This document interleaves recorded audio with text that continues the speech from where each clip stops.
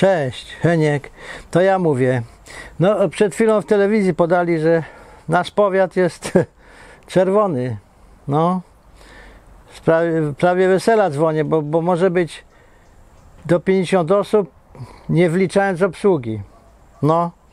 No to tak. y, No tak, spokojnie, zaraz, zaraz, zaraz, spokojnie. Więc tak, y, rodzina tej twojej panny młodej to ile jest osób? 50. No dobrze, no i dobra, no to zapraszasz ich. A co, a woja też, a twoja ile jest? 100. No ty, no, się przebieracie za kelnerów i cześć, no.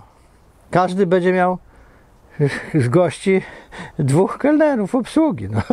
Kto broni, no. No dobra, no to cześć. Zdrowia życzę. Żartuję tak.